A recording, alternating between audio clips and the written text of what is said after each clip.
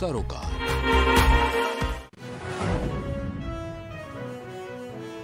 Budget के बाद webinar में बोले पीएम मोदी, कहा कौशल में जितना अव्वल होंगे, उतनी सफलता मिलेगी।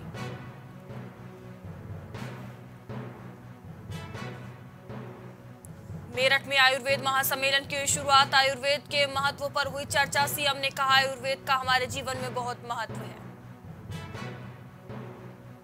आलू खरीद पर अखिलेश यादव ने कसा तंज, कहा अब की बार आलू बदलेगा सरकार। शिवपाल यादव ने किया बीजेपी पर पलटवार, कहा बीजेपी ने तोड़े भ्रष्टाचार के सारे रिकॉर्ड।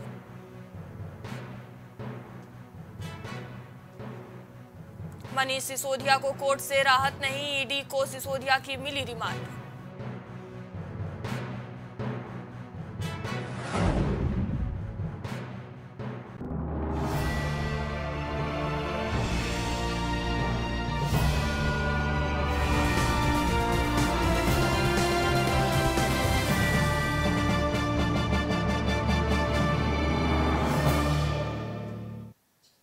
नमस्कार, मैं हूँ मयूरी श्रीवास्तव, आप देख रहे हैं प्राइम टीवी, वक्त हो गया है उत्तर प्रदेश की बड़ी खबरों का। पीएम विश्वकर्मा कौशल सम्मान पर बजट के बाद वेबिनार को संबोधित करते हुए पीएम मोदी ने कहा, हम कौशल जैसे क्षेत्रों में जितना अव्वल होंगे, हमें उतनी सफलता मिलेगी। साथ ही उन्होंने कहा कि शहरों में कई कारीगर हैं जो अपने कौशल से अपना जीवन यापन करते हैं। पीएम विश्वकर्मा का फोकस ऐसे ही समुदाय की तरफ़ है। सभी स्टेक होल्डर्स और हज़ारों की तादाद में और पूरा दिन भर बैठे बहुत ही उत्तम सुझाव निकले हैं। सरकार को भी उपयोग में आए ऐसे सुझाव आए हैं। और मेरे लिए खुशी की बात यह है कि इस बार बजट के वेबिनार में बजट में ये होता, वो न होता, ये होता, ऐसी कोई चर्चा करने के बजाय सभी स्टेक होल्डर्स ने इस बजट को कैसे सर्वाधिक उपकारक बनाया जाए, इसके क्या रास्ते हो सकते हैं, इसकी सटीक चर्चा की है। यूपी में आलू किसानों को राहत देने के लिए योगी सरकार पहले चरण में सात जिलों में क्रिय केंद्र के माध्यम से आलू खरीद शुरू करने जा रही है, जिसमें किसानों से 650 रुपए प्रति क्विंटल की दर से आलू खरीद की जाएगी। इसको लेकर समाजवादी पार्टी के अध्यक्ष अखिलेश यादव ने तंज कसा है। उन्होंने ट्वीट कर आलू किसानों की समस्याएँ गिनाते हुए लिखा है की आलू की लागत लगातार बढ़ती जा रही है और कम दाम मिलने से लागत निकालना भी मुश्किल होता जा रहा है। साथ ही भंडारण के लिए टोकन भी नहीं मिलता है। अब की बार आलू बदलेगा सरकार, बता दें कि इस पूरे विषय पर सपा के राष्ट्रीय महासचिव शिवपाल यादव का बयान भी सामने आया है। उन्होंने कहा कि पच्चीस सौ प्रति क्विंटल की दर से बीज खरीदने वाले किसान के लिए यह समर्थन मूल्य मज़ाक है।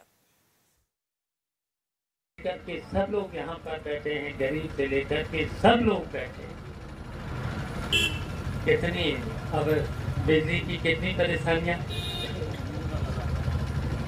बिजली की कितनी परेशानियाँ? बिजली के साथ साथ आज आलू की कितनी समस्या? कैसे मैं किसान ने पैदा किया? कोल वाले क्या बेचारे करें? कोल को भी कुछ बिजली की वजह से कोई बचन ही नहीं है। इतना आलू आलू के साथ पहले धान में लुट गया किसान फिर से पहले गेहूँ में लुट गया।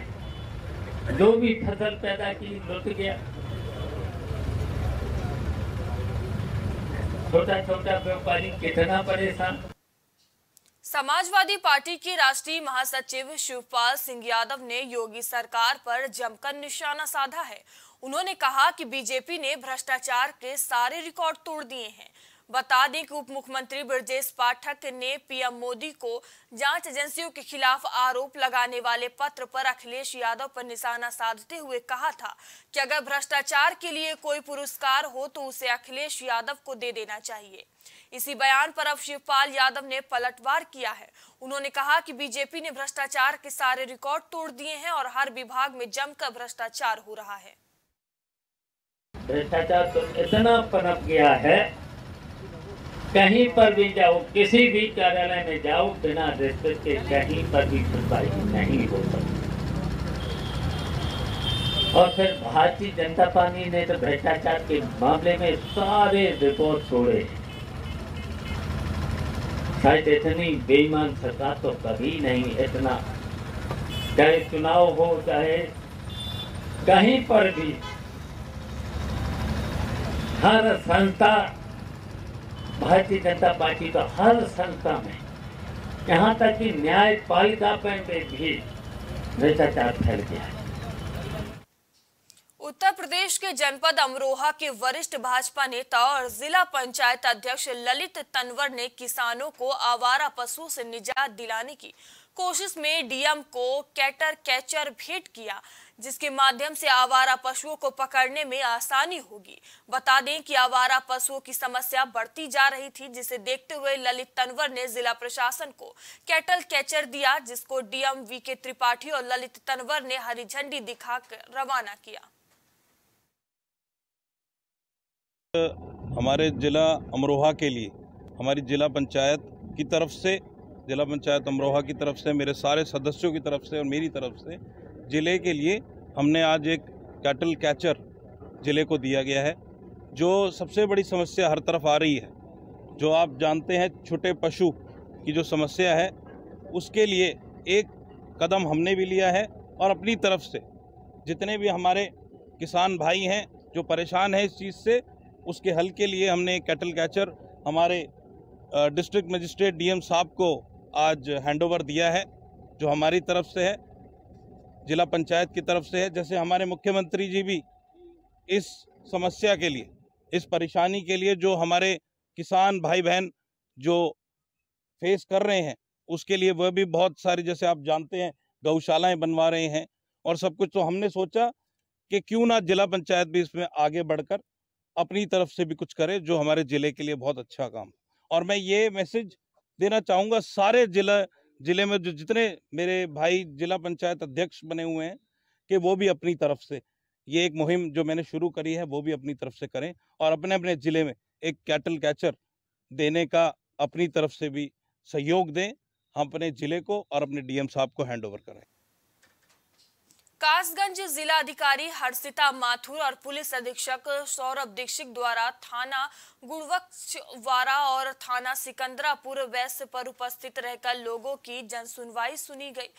और उनका समय पर निवारण करने के लिए निर्देश दिए गए। इसी दौरान पुलिस अधीक्षक द्वारा ये भी स्पष्ट किया गया कि थाना और तहसील दिवस पर आने वाले प्रकरणों को लंबित ना रखा जाए बता दें कि समाधान दिवस के अवसर पर थाना प्रभारी राजस्व विभाग की टीम आदि अधिकारी मौजूद रहे।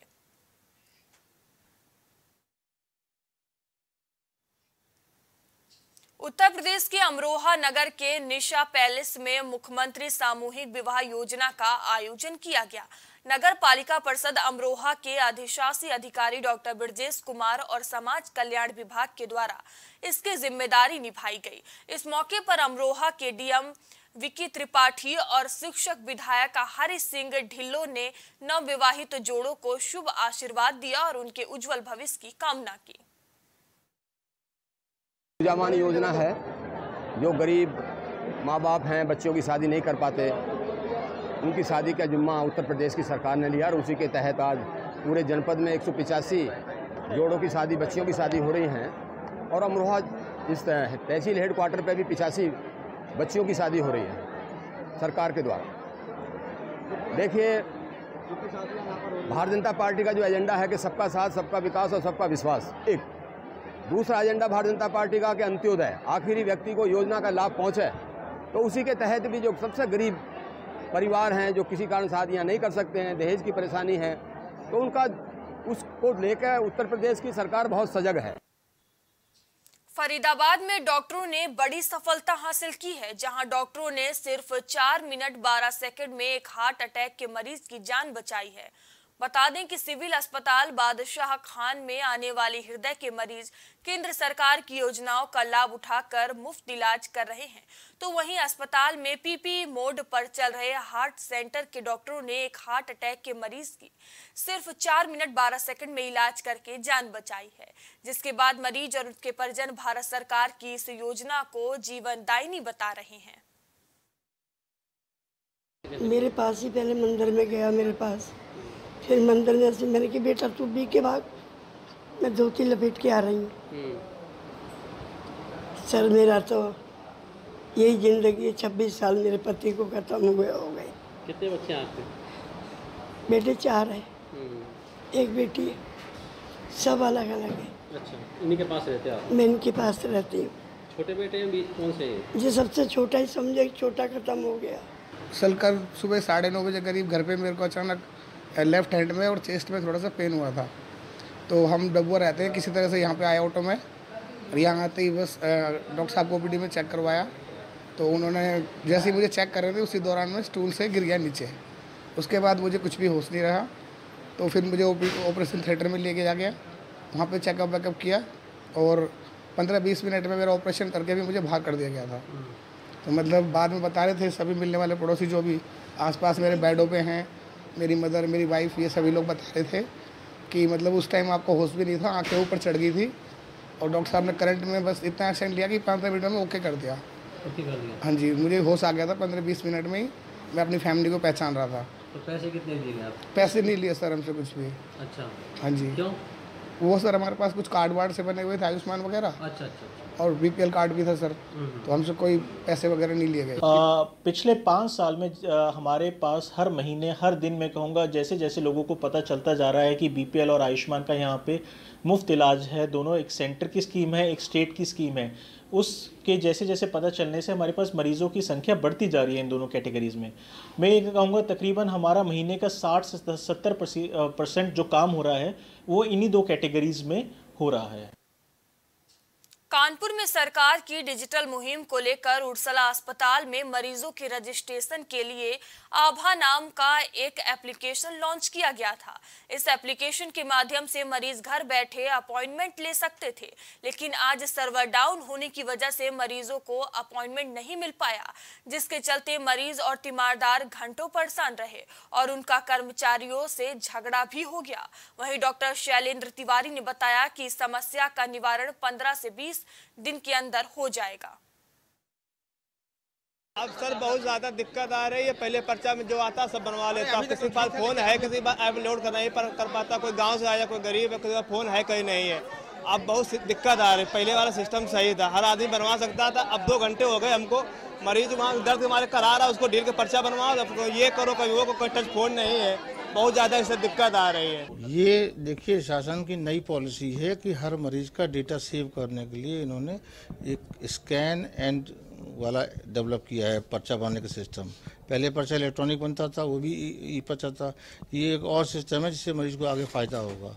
अगर उसके पास कोई मोबाइल है, अगर उसके पास आधार कार्ड है या कुछ नहीं है तो अंगूठा लगा दिए अपना वो मैच कर जाएगा। तो उसका सारा डेटा आधार से लिंक होगा, सारा सेव हो जाएगा। तो अगले बार जब वो आएगा तो उसको सिर्फ़ वो करना सेव करना है और एक आभा ऐप डाउनलोड करना है, जिसके अंदर उसका सारा डेटा सेव रहेगा। तो अगले बार उसको टाइम बहुत कम लगेगा। जैसे अभी नॉर्मल पर्चे में भी अगर आप मंडे को आएँगे तो आधा घंटे लग जाता है। तब ये सिस्टम बस पहली बार दिक्कत करेगा, थोड़ा टाइम लगेगा। और इसके बाद भी एक लाइन उसकी भी है जो नॉर्मल पर्चों की है। तो कभी कभी इसमें अभी सर्वर या नेट की समस्या आ जाती है, तब थोड़ा स्लो होता है। अदरवाइज़ अगले बार ये दिक्कत नहीं आएगी जब आदमी आएगा खबर कानपुर से है, जहाँ वायरल संक्रमण के केसेस बहुत तेज़ी से बढ़ रहे हैं। खांसी और बुखार लोगों को परेशान कर रहा है। इन्फ्लुएंजा ए वायरस के नए स्टेन के संक्रमण के चलते लंबे समय तक लोगों को खांसी, बुखार की शिकायत रह रही है। बता दें कि अभी तक कि इस वायरस की जाँच की कोई भी व्यवस्था नहीं है। जिस वजह से लोग प्राइवेट अस्पतालों में इलाज कराने को मजबूर हो रहे हैं। साथ इलाज को लेकर कोई स्पष्ट गाइडलाइन जारी नहीं की गई है, जिसके चलते सभी मरीजों का इलाज सामान्य तौर पर किया जा रहा है। देखिए, वायरस तो खतरनाक होगा, इसमें कोई शक नहीं है। अभी तक जो हम लोग को खबर मिलती है, अखबारों के द्वारा या जो मेडिकल कॉलेज के द्वारा। उसमें कहा गया कुछ private cases H C N B इन टू के मिले हैं नर्सिंग होमों में। हमारे यहाँ चूँकि अभी जाँच नहीं हो रही है, ना मेडिकल कॉलेज जाँच कर रहा है, जाँच की व्यवस्था भी नहीं है तो हम लोग अभी इसको एच एन टू नहीं मान रहे हैं। नॉर्मल वायरस की तरह इलाज हो रहा है, नॉर्मल निमोनिया की तरह इलाज हो रहा है। सीएम साहब से बात की है कि अगर जाँच व्यवस्था चालू हो जाएगी, तब वो क्लियर बता पाएँगे कितने केसेज हैं और क्या होना चाहिए। उत्तर प्रदेश की खबरों में इतना ही। देश दुनिया की तमाम खबरों के लिए देखते रहिए प्राइम टीवी नमस्कार।